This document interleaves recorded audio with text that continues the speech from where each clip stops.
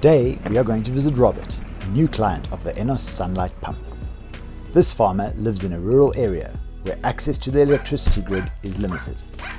He became interested in the ennos solar pump once he saw the savings made by his neighbours when they stopped using combustion pumps, similar to his own petrol pump that generated regular expenses for fuel, oil and maintenance.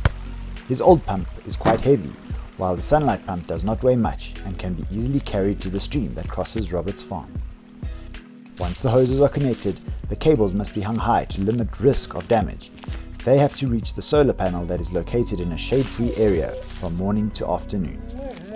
Robert has placed it on top of his own house since its roof has a north-south orientation and a slight slope that allows the panel to receive maximum energy from the sun during the day. The current generated goes directly to the sunlight pump which turns itself on automatically.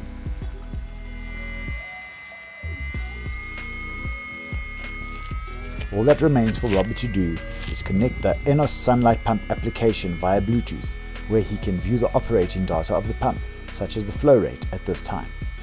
The app will then let him know how much water has been pumped each day for the past months. You can also register your pump to later benefit from the guarantee if you need it, and from ennos remote technical support anywhere in the world.